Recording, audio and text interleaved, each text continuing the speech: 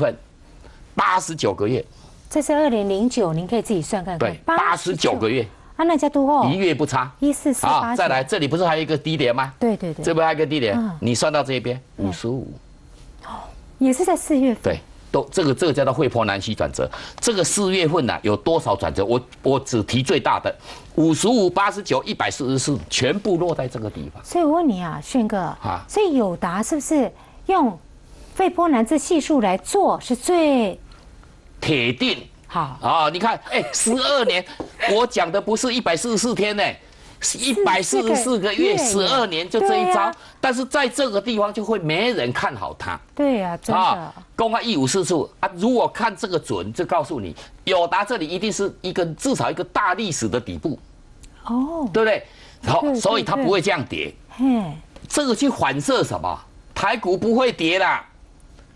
全市场没看好的烂股都不可能跌了，没错，还会跌吗？对，有道理。你觉得还要跌啊？啊啊，有大想准备干啊？嗯，那你你觉得还未来还是空头吗？景气还是往下摔吗？啊，我们的面板不是剩下八毛钱啊？那有它干脆关门就好了，对不对？是不是逻辑？但是但是会这样吗？这是见仁见智啊。有人如果你要基本分析，就会认为这样。我从技术面，那下都后，这不是天吗？对不对？嗯，难道这是人算的吗？不是。好，感谢炫哥了。所以照他的这个研判，这个友达从八点零三块已经涨到了十一块钱。您看日 K 哦，它是就这么样，大家唱衰它，利空淬炼下的一个大底部长成这样，现在是带大量。博杰讲友达，炫哥做点补充。我们整个还没讲完，刚刚那张字卡，这一张字卡才是您最在乎的。未来即将除息的指标股，像台积电，复制它的模式，完全填息涨上去的有没有？回来之后继续追台塑，是天迪老师的大主题。当然，台塑越刚炒哈，现在这个问题呢是越演越烈了。可是回到现场，我还有一个重要的：台湾越南的贸易量到底有多大？也会国跟国之间的贸易受到打击吗？哦，轩哥在讲友达哦，其实应该很多投资人是很有兴趣的哈。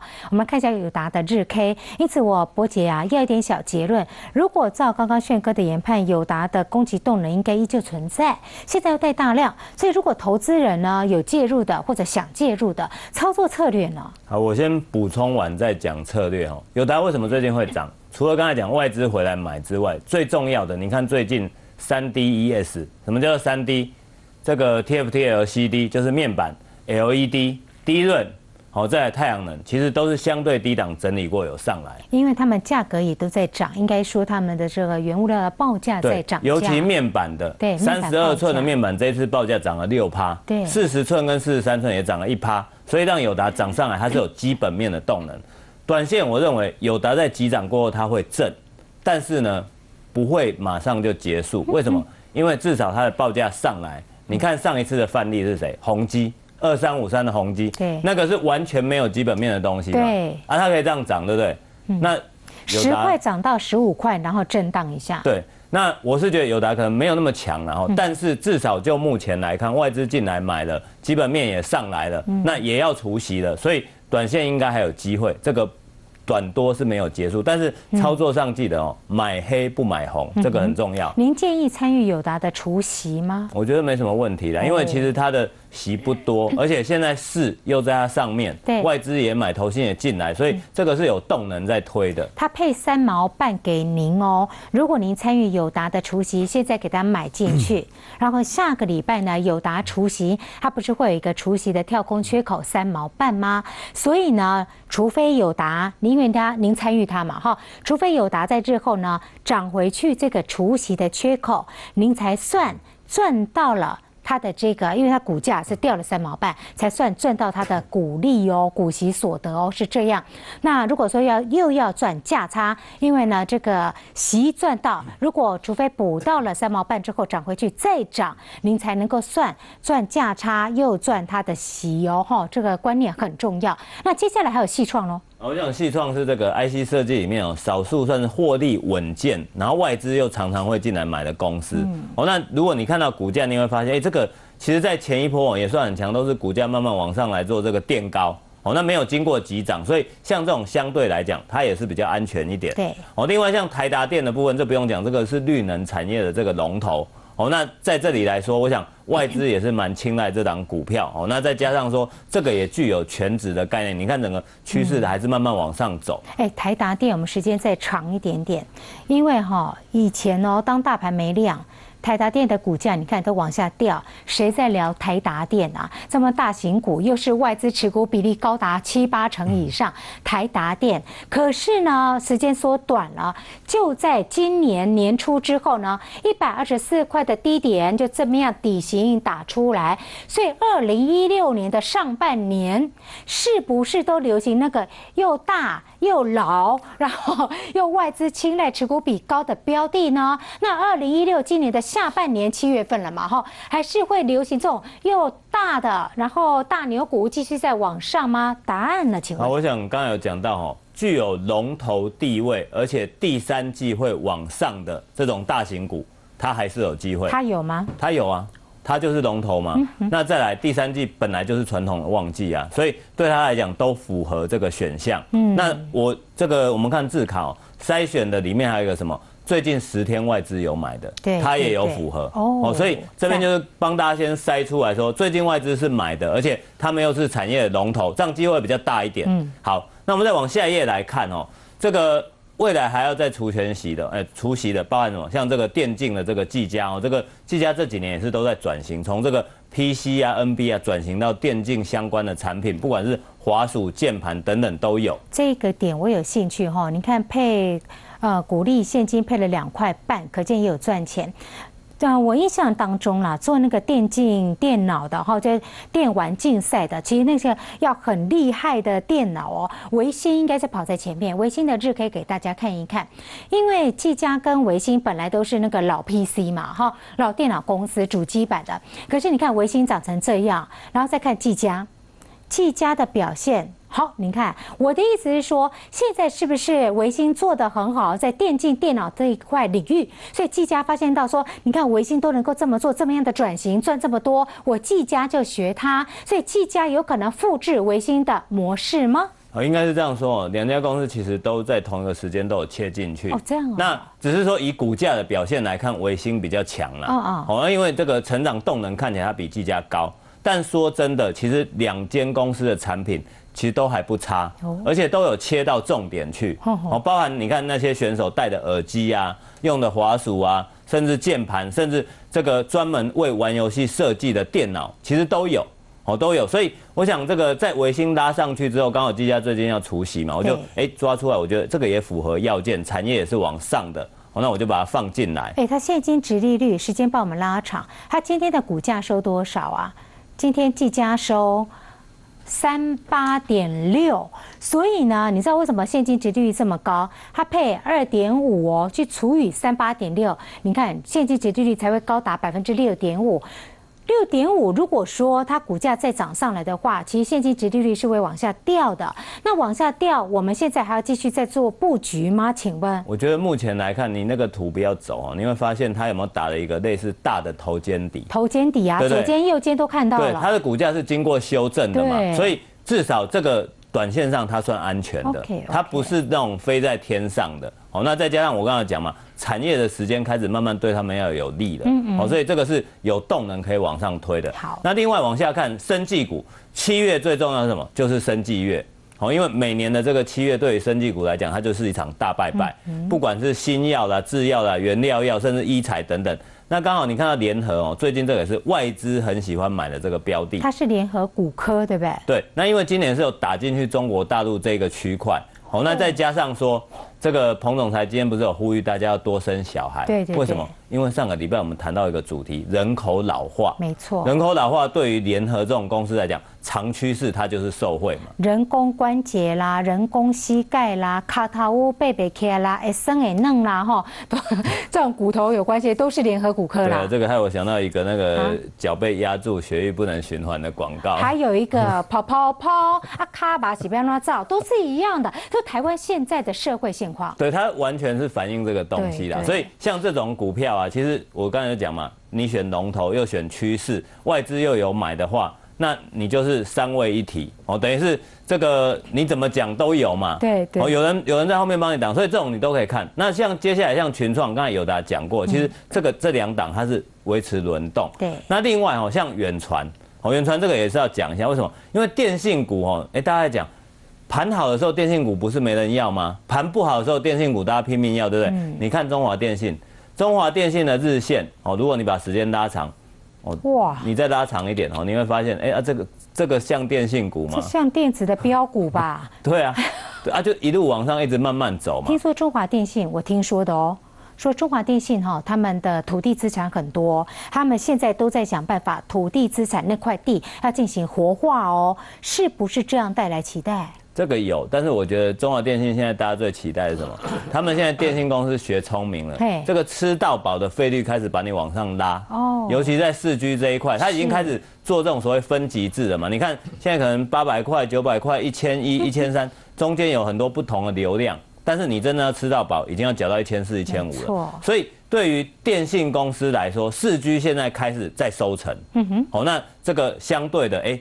这个法人在这里，他就会青睐哦。另外，包含像联勇的部分，这个也是基期比较低，但是刚才随着面板开始上来，哦，所以我说刚才这个族群里面，大家其实自己去找了哈。第三页产业，第三季产业会往上，外资最近有买的，嗯，再加上它是产业的龙头或次产业的龙头，我想。这些都是相对哦，除息安全的标的。这张字卡当中呢，还可以读出一个刚刚我一再要提醒大家的，您可以发现到哈，同样都是除息未来期待性可以完全填息的。可是呢，你期待我期待，大家也期待，不知不觉股价就追上来了。所以当了股价联合啦、群创啦，股价这么一追，股价涨上来，配息就是长这样。你看现金折率就会往下掉。换句话说，现在您看到的技嘉六点五，看到了联勇七点五，如果呢？大家又追进去的话，股价涨上来，股息殖利率、现金殖利率可是会往下掉的哦。它是一个相对观观念，你去看那个公式就知道哈。再次与您最佳分享。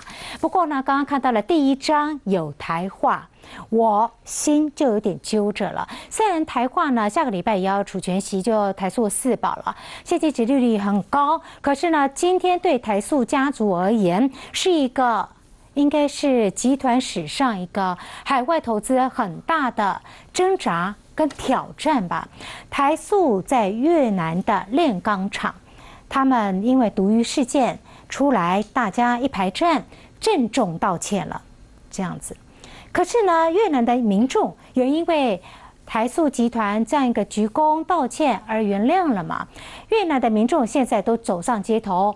大抗议，为死于案的延烧哈，现在继续在抗议，一张啦，两张啦。现在呢，越南政府就在担心，担心什么？他担心这件事情如果 control 不了的话，控制不下来，很有可能越南民众会因为这个台塑的炼钢厂的事件而造成了暴动。我们也不知道情况会是如何，可是呢，整件事情有点像罗生门，超级戏剧性的。我念给大家看，你就会觉得说，本来不是没事了吗？怎么现在事情越演越烈呢？台塑越南废水案，现在剧情突然大逆转，突然转弯，因为事情时间得拉到了四月二十三号。四月二十三号，越南媒体报道说，中部海域发生了百万吨的鱼群死亡，怎么回事呢？影射台塑越钢废水污染。二十四号，越南资源与环境部，它是一个重要的部门，一个部门初步调查，台塑排水合格哦。看到关键字了吗？换个颜色哈，它是合格的。鱼群暴毙与台塑无关，看到了吗？这是在四月二十四号的政府调查的结果。不料四月二十六号，台塑邀媒体进入厂区来观厂区嘛，说：“哎，我们是没问题哦。”结果呢，月钢月钢厂的公关，你为什么要失言呢？他说啊，进厂。或抓鱼，你只能够二选一。人家都说你没事了，你带着记者去看，然后又说二选一，不就说啊，好像有事，呃，怎么样怎么样？所以呢，不知道这句话太重要了哈。好，再看时间走到了六月份，五月一号，五月一号呢，越南民众示威抗议台塑之后呢，民众数度抗争，就因为刚刚的那个越南厂的公关失言，失言之后，国际媒体又大肆报道了。然后报道之后，民众才会在五月一号又抗议嘛，哈。六月十五号，越南官方说台塑需要补税二十三亿，台塑首座第一座的高炉延后投产就没有办法投产了。三十号，越南政府最新的了哈，越南政府记者会指称台塑工厂建筑跟营运违规，所以呢。致废水导致了废水毒鱼，鱼才会死了一大堆。台塑需要赔偿一百六十一亿元，人家说这是台面上的，台面下还不知道要赔多少钱。甚至呢，还有台塑的高层被扣在越南的海关出不来，种种事件更让大家疑惑了，到底其中是多复杂性呢？天底。对，我想这个事件本来应该是要落幕了，因为当时他们的调查团呃调查出来之后，因为台塑的月钢它还在试车阶段，对，啊，并不是正式的一个营这个这个运转，所以基本上它的一个影响没有那么大。那当然，如如果这个公关的这句话，我认为如果这不是白目，什么才叫做白目？对呀，啊，这真的是白目啊，因为他是说，他竟然说你到底是要建厂还是要钓鱼？哈，你要钓鱼虾还是要建厂？你去问所有的这个，现在脸书这个所谓的这个网络上非常发达，所有人都会告诉你，我要我挺鱼。对，所以这个地方就产生一个现象，这个暴动的出来来自于这边了。当然，更重要的是刚才瑞涵提到的，就是他们的总裁，就是台塑集团的总裁王文渊，曾经一度被禁止出境啊。所以我想这一部分是蛮严重的。现在我们在讨论的关键点就是这个事件的延烧到后面会产生什么样的一个影响？其实比较重要的关键点是。这个台塑的月钢厂，它是台湾我们对外的第一座啊，那么高炉啊，那这个高炉没有办法点火，没有办法点火，因为它投资的金额还蛮大的，所以我们现在赔偿的部分，除了这个原先的这个五亿美元之外，另外还有七千五百万的一个退税的部分要退回去，所以我这边写到了台塑集团将赔呃赔付总额大概五点七五亿美元。五点七五亿美元是多少呢？那么大概就是一百这个一百多亿台币，一百多亿乘上一百八十五亿，对对对，一百八十五、一百八十六亿的台币。可是别忘了一件事情哦，我那个高炉没有点火，我投资进去了一百零五亿的美元的一个这个。这个金额是不是一样是要赔掉？所以，对我把它加起来，对我把它加起来之后是两百九十亿，两百九十亿的一个美元到底是多少啊？那么相对呃两百九十亿的一个台币，所以呢，其实它真正的问题是出在哪里？就是四月二十四号你说无关之后，四月二十六号。我们的朱姓经理啊，这个公关呐，又开始讲了那句话。我觉得这句话才是最重要的关键。所以原先如果是中国的部分，因为两年前五月十三号的时候，越南就曾经出现过排华的一个事件。然后当时对，那时候好严重哦。对，当时当时中国在南海去那个专油嘛，探勘石油，所以基本上就是越南派出军舰来跟他对峙。所以对峙的情况之下的时候，就造成了当时就有一大一一阵子的排华在两年前。去年的越南排华，前年。呃前年哈，对，它的引爆点是中国，中国。中国。那台商那时候是受到了波及，然后大家想说要不要撤啦，很紧急在前年。对，那这一次是我们台湾的台塑就对，但是这。次我们台塑的这个会像前年那么严重吗？应该来讲，我认为不会啦。哦，我认为不会，钱可以解决的问题应该都都可以解决。为什为什么这么说哈？因为越南的经济体是刚起步。对，一般来讲，经济刚开始发展的时候。它可以有很大的容忍度去容忍你的环境污染，对。这个地方，所以你只要处理得当，我觉得这个事件慢慢还是会落幕的。所以您刚刚也看了时间表，照正常的流程，这也是我揣测了，会不会在四月二十四号，越南的官方，因为我经济在发展，您来这边设厂带动我的经济，这是我希望的，所以越南呢？他们的高层政府本来在四月二十四号就已经帮台塑集团已经说。对不对？对，撇清关系了，对。对，撇清关系了，就说帮你案子已经有点压下来了，无代机了，无要紧啦。所以关键点是在这儿嘛，公关失言。对。所以这次会不会回到现在五六月份哦？因为现在我们的越南政府看得出来，已经有一点点靠到民众的那一边了哈。看下一页。啊，六月五六月份，所以这次到底越南政府还会不会帮台塑呢？您觉得？他现在已经要要求我们罚款，我们也我们也鞠躬了嘛，鞠躬道歉之后就是认罪的概念就是用钱解决。对对对，只好用钱解决。所以现在要做的就是平息啦。我觉得。应该怎么样去平息民众的怒火？那当然，如果我是他的发言人，我会这么说了，我会说，呃，很抱歉造成污染，然后呢，那么将来我会回馈给所有的这个那个沿海的居民，或者我应该这么说，我提供你更大的优惠，或者是所谓的这个就业。对你如果这样讲的话，基本上影响就不会这么大。他就没有像你那样会讲话，他就 他就要你二选一啊。越南什么时候那么环保了？我非常怀疑。对啊，因为他在你钢厂还没真正开工，你能够污染多少？他政府说我鱼也没事，对不对？越越南什么时候那么环保啊？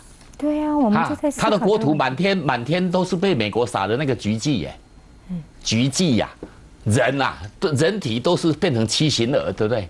以前呀，对啊，除草剂，除草剂嘛，就菊剂嘛，就叫菊剂啊，就是就是那个越战的时候，不是撒了那个鱼剂，那个后遗症多长？越南不是一堆七星儿吗？对，你又奈何？立马出来抗议他他也没有对美国怎么样啊，他们一样猫猫哎，国小被人欺呀，对不对？对呀，我就是想说宝钢武钢，所以炫哥照你的研判，宝钢武钢应该也不是环保没有做的很，应该是环保不会做的很好，可是他不敢去得罪中国，就对了。当然啦，对不对？这这，哎，这是国际现实啊，对不对？对，对不对？中钢中共那么大，你怎么样？对不对？而且你会发现哦，我我一直在看那个日期，对对对啊，跟五二零不知道有没有关系？来看一下日期好不好？第二章来到五月一号。所以真正的事情爆发比较严重的是在越南官方说你得缴补你要补税，六月十五号，六月十五号就在五二零之后喽。是官方官方的态度嘛，对不对？我我看起来是形同勒索啦，但是你又奈如何，对不对？哦，是不是？啊，这官方不是六月以后了吗？对对对。台塑如何？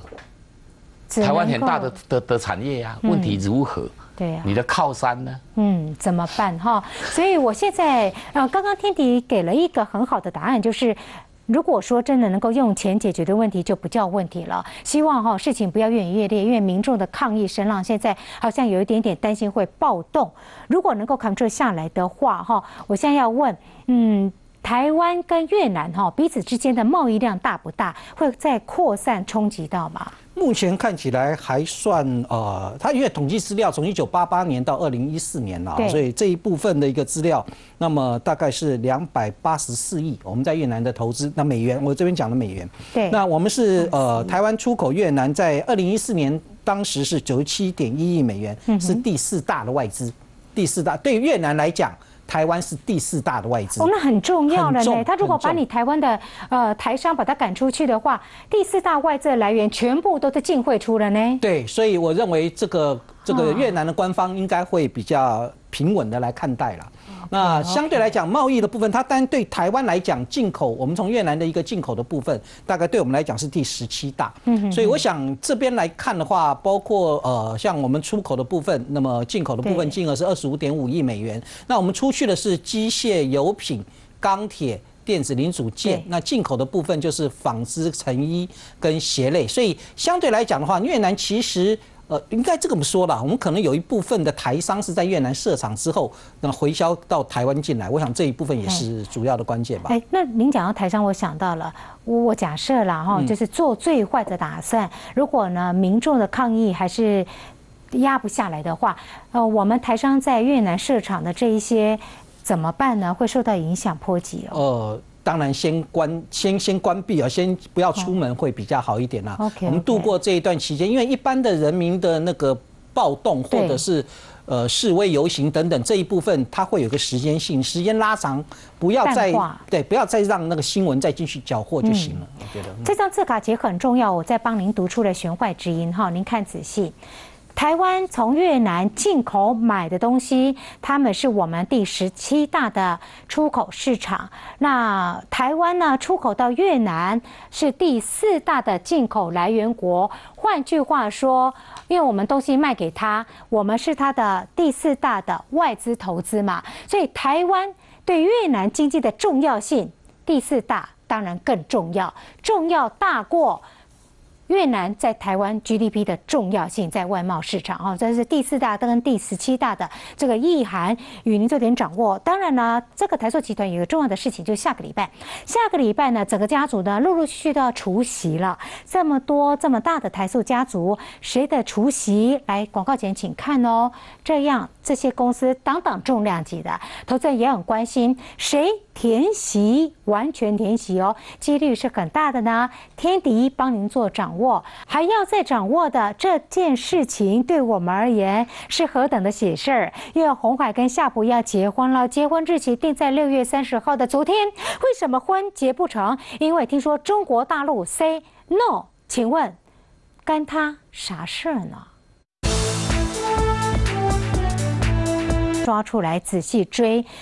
你怎么会知道说为什么调查会突然大翻盘？内幕呢？刚刚炫哥、天敌都讲得好清楚，希望您听得懂。美国、中国他们都不敢，台湾现在却闷着挨打了哈。总之情况是这样。可是呢，我还是要给台塑集团家族按好几个赞，哪怕遇到这么大的海外投资的困境，哪怕去年的油价，去年油价有多惨？一度哦，在去年，应该说今年年初的时候，去年下半年重挫崩跌，来到了今年的一月份哦，最惨跌到了每桶二十六块，应该说二月份了，二月十一跌到了每桶二十六块美元，历史新低。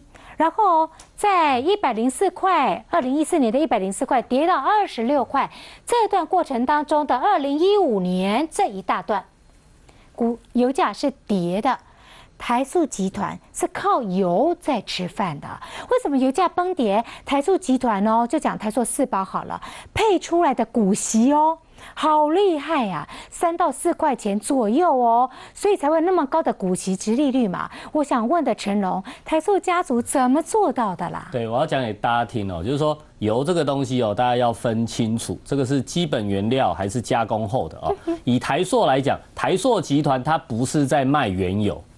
它如果是在卖原油的话，就会造成刚才瑞涵所讲，国际油价大跌，那你原油越卖越便宜。对，它卖油的只有台塑化，但也不是卖原油，它是卖给我们加油的油。对对。那通常来讲，我们讲台塑集团是进原油以后来加工，对吧？对。我有清油裂解厂，然后裂解完以后，从基本原料再裂解成中间原料。对。好，那基本上所谓的基本原料是乙烯。好，那这个乙烯呢？我我现在讲的重点，这个大家注意听，因为大家平常不知道。对对。一般来讲，我们的乙烯哦是，呃，原油进来以后呢，它有一个石油脑。好，呃，跟你讲，成龙来请上来，因为呢，不是每一个产业大家都那么了解。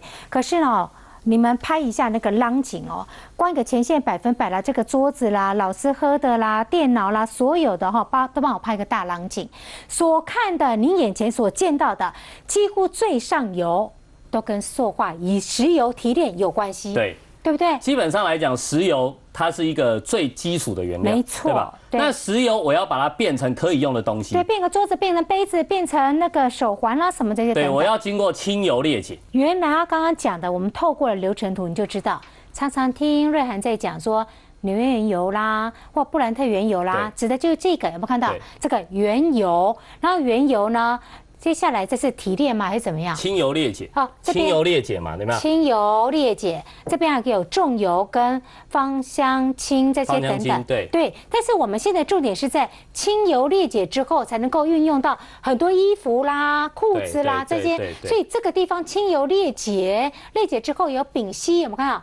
乙烯、丙烯、丁二烯，接下来就是关键了，还有一个丁二烯。对，所以提醒您哦，这边的区块跟台湾是高度相关的。对，因此呢，看懂了哈，我们来个白板，就从清油裂解之后，乙烯、丙烯这边来讲起。对，所以刚才瑞航讲的那个流程图哦，基本上是从原油，对，原油把它变成我们刚才讲最比较最重要，我讲的是乙烯啦。乙烯这个是用途最广的，好，乙烯好。那一般来讲，包括现在台塑在六氢的呃清油裂解，都是走这一条路。嗯，可是走这一条路的话呢，基本上原油的价格就很重要。对，原油如果跌的话呢，你是不是会有库存上的损失？对，我当初进了一大堆原油啊，这些原油赔钱了，你知道吗？我买在五十块，现在跌到。对对对，我就要提列账上的损失，对不对？好，可是如果我今天有另外一条路，现在台塑基本上它去国际上。大幅的在盖石化厂，你知道它盖在哪里吗？哪里啊？它不是盖在越南。越南是钢铁厂，他对，越南是盖钢铁厂，，他去美国，美国人工那么贵，他为什么要选择美国？嗯因为美国最近兴起了一个页岩气，哦，页岩气革命，我不知道大家有没有听过，一定有嘛哈？有有。哦，所以我们现在又多了一个页岩气了，好，这个是页岩气，我问你哦知道吗？页岩气。先问一下哈，它那个页岩气挑在美国，台塑挑在美国对设厂，是不是因为页岩油？美国是页岩油很大的生产大国，对所以生产页岩油的时候就会有页岩气，对在设在美国，对。页岩气这个东西哦哦，就是我讲白话一点，就天然气的一种哎，对不对？它就天然气嘛。那如果呢？因为天然气比原油便宜更多啦，这个大概只有它四分之一的价格。是哦，好，如果我有一种技术，我我我提炼乙烯可以不要透过原油提炼，不要用油，我直接用页岩气来提炼呢，那我这个乙烯的价格是不是就只有二分之一的价格？所以用页岩气提炼出来，提炼的也是乙烯，也是乙烯，同样也都是可以用的乙烯，对，也是乙烯。可是我的价格是不是比在台湾做，或者说透过原油的方式，我便宜一半？当然啦、它十块就五块啊，对呀、好，那我再从乙烯再去做成加工品，大家有听过聚乙烯吗？有聚乙烯的英文叫 P P V P E 啊，P E 叫聚啊聚乙烯。那或者呢，你有没有听过呃这个聚氯乙烯呃聚氯乙烯，啊或者呢苯乙烯？这个都是从乙烯再去合成的。哦那这一些东西哦，我举个例子好了，我们看股价，我们直接看股价就好。我们看这个台化，一三二六的台化，台化过去这一年的股价走势其实算很强，对不对？当然啦、那台化基本上来讲，它现在有很大的比例是在做 SM，SM 呢就是苯乙烯，苯乙烯。好，那我们讲苯乙烯不止台化在做啊，台本也有在做啊，是。国桥也有在做啊。对。那如果你台化因为你苯乙烯而能够涨的话，那理论上来讲，台本是不是也应该要涨那么多？对，国桥是不是也应该涨那么多？是啊。好，那我们线都不要画掉，我们直接换一三一二的国强不要，轻哦，一三一二的国强，你看它有没有那么强？没有，没有。一三一零的国这个台本这个台本有没有那么强？就没有，对不对？哦所以就代表一件事情，就是说我们都做一样的东西嘿嘿，可是我的成本不一样啊。我台本我国桥的乙烯是贵的啊，我懂了。我是从石油脑那边来的啊。是。可是我台塑，因为我自己美国有乙烯厂，对，我我自己有清油裂解厂，它是页岩气，便宜二分之一的页岩气提炼出来乙烯的，对，所以我的东西当然便宜啊。所以为什么我的你看，我们以前常常讲买股票要买中小型股，哪一档是中小型？台本中小型啊，嗯，国桥中小型啊，嗯台化是笨牛啊，对只有怎么笨牛涨得比较多？你再回到台化，你看笨牛飞了，笨牛为什么涨比较多那就是因为成本的关系。我懂了，所以这个是最重要的原因。当然，除了这个以外，当然还有一些其他原因，譬如说台塑集团本来对原油价格的操作本来就很厉害，对对不对？哦，这个王王王文元常的这个金口一讲啊，哇，原油的价格涨跌都都在他预料之中，嗯对对对所以他会做一些衍生性金融商品的操作。说到这一点哈，麻烦把那个油价再秀给大家看。这个呢，我们曾经在 去年的时候也追过，当时呢，在今年二月份，然后我印象中王文渊吧，他说哦，他在对外讲啊，油价来到二十六块，差不多了啦，应该是底部了啦。所以哦，发现啊，去年一整年怎么台塑家族赚那么多？我们那时候的想法，市场上也有传出这样，请问是不是啦？哈。反正呢，他判断油价那么样的精准，因此呢，就在这个地方呢，大买了油，便宜的油进来，然后呢，同时间哦，两手策略，右手干嘛呢？布了很多期油期货的多单，对结果油期货多单底价大赚了，啊所以两边赚。对啊，他他他一辈子几乎都都在搞这个油嘛，哦所以油的涨跌对他来讲太 easy 了嘛。所以去年一整年，这个包括了金融的操作也是他赚钱的原因。本业哈赚钱，我们刚才已经知道，它的成本比别人低嘛，所以你原油价怎么跌，不关我的事啊，我是用这个页岩气做的，页岩气更便宜啊，对不对？所以我我根本没有影响，反而还更赚。嗯然后再来呢，我哦这个期货商品我又操作的很好，啊，哦所以从这各方面你都会觉得台塑集团它真的，在我的感觉啦对，它比较像是传统产业的台积电。哦，对对对不对？好，就就就有那种龙头的味道，它就是有它的独占性，所以呢，这个独占性呢，相相信当然也是各位可以参与投资的最大原因。好赞，感谢您了哈。陈荣大概也好久没来教学了，虽然画那个白板都很用力画呢哈。所以啊，讲到那个台塑四宝，我们做了一份资料给您做一下参考。感谢他，这不愧是专家，教的好透彻哈。塑化也是一个难的产业了。台塑四宝的配型，四宝帮您列出来。您看，这不叫实力，什么叫做实力？油价崩跌成这样，它可以配。这么多钱给你，可见的二零一五年的去年他赚多少钱？除夕日呢，分别是在这，从七月四号下个礼拜开始哦，陆陆续续都是台塑四宝的除夕的重头大戏了。因此，天敌四宝都值得期待吗？完全填席呢？对，我想目前来看的话，刚刚陈龙讲得很清楚了，就是呃，他们在油品的操作上面是非常犀利的。那这个犀利啊，不是这么简单哈。那因为呃，长荣航在我们航空也需要去做油品的操作，但是航空股的那些公司，他们基本上操作就很糟糕。没错，航空公司常常在那个期货油的部分上面也是赔的。对，本来 本来油降下来之后，你营营运的成本下下降，那你的获利要增加，结果还我们发现它还是亏损。哎。那我想到了，叫长荣航空、华航那些哈金融市场操作人去请教一下台塑王文渊呢？哦，对，是不是 哈？那如果这样来来讲的话，应该是这样了。但是长荣它有长荣集团呢，那台塑有台塑集团。好，所以我想回过头来看的话，那么台塑四宝的一个配息来看，因为下礼拜一就是台塑化啊，六五零五的台塑化要配息，那配息四块钱。如果我们去看一下台塑化它的一个 K 线的话，你会发现到，那么它的一个股价走势，其实在最近。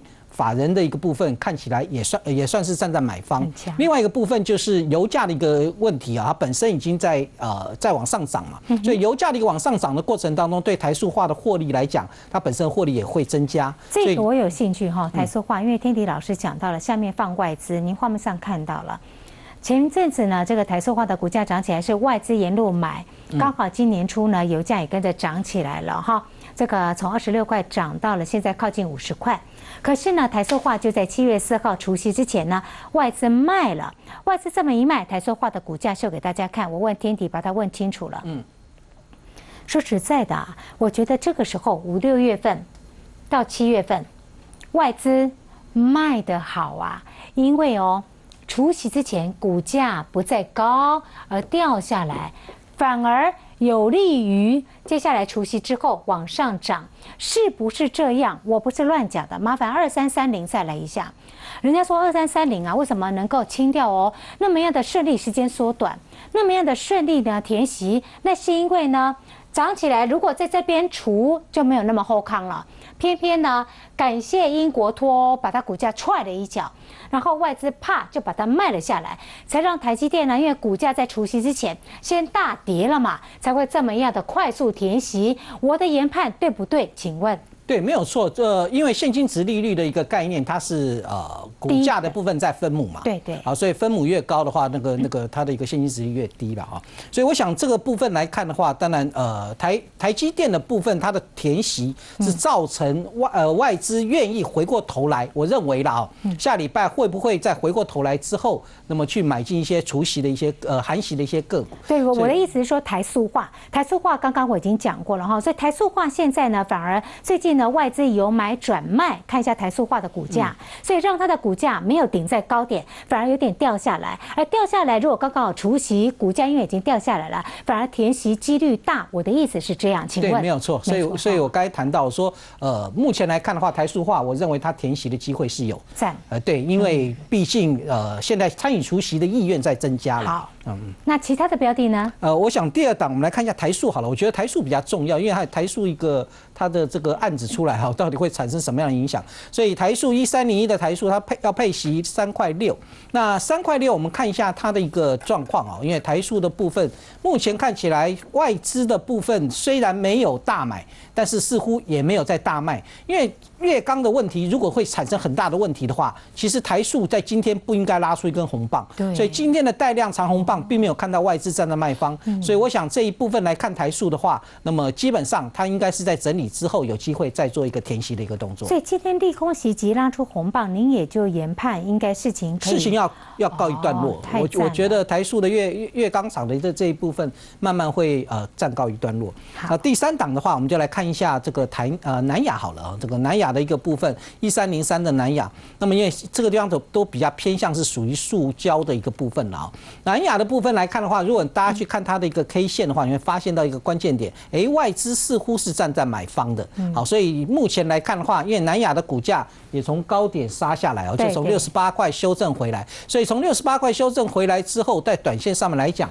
那么就应该有机会形成所谓的一个填息的一个动作，我想这个部分是值得大家关注的一个方向。好，感谢天底，然后刚刚的四档标的，我觉得观众朋友真的很 lucky 耶，因为刚看那个线图啊，他们有一个共同的特色。前面四档标的因为高配息，大家很爱，大牛也会飞，所以股价创下波段新高。可是就在除夕的前夕呢，股价回档了。我就像刚刚问天迪的，这回得好，因为股价没有在高档回了一下，除夕之后反而往上填息的几率就大大增加。炫哥，这样个逻辑是对的，对不对？对啊，当然。下个礼拜嘛，基期很重要嘛。对，所以掉下来就是您的机会喽，赚赚个价差。但是呢？我们也想赚，赚的是红海跟夏普结婚之后未来的生活美满，股价的上扬。可是呢，竟然就在今天出现了大的变数，怎么回事？为什么在昨天结婚大喜之日，红海跟夏普没办法结婚呢？理由在这，原定红海夏普是在六月底，就在昨天六月三十号。要走完所有的法律程序，七月一号，红海正式入主夏普总部，正式经营。可是呢，日本媒体就说了，因为中国大陆的反托拉斯的审查没有结束，还在调查，造成了并购案没有办法如期在六月三十号他们结婚完成的主要原因。什么叫做反托拉斯的调查？常听到，但是不甚了解，请问？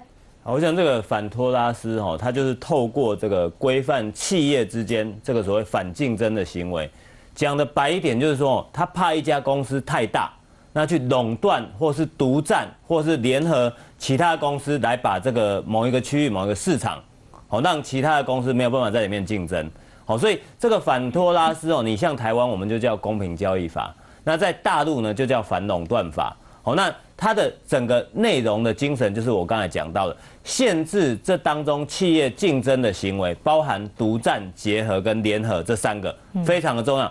你知道这三个的行为，我就可能视你为有这个触触发到这个所谓反托反托拉斯法这个法定的这个问题。如果再讲白一点点，反托拉斯法哈，如果今天呢这些企业可能会违反，它的最大前提是 A 企业。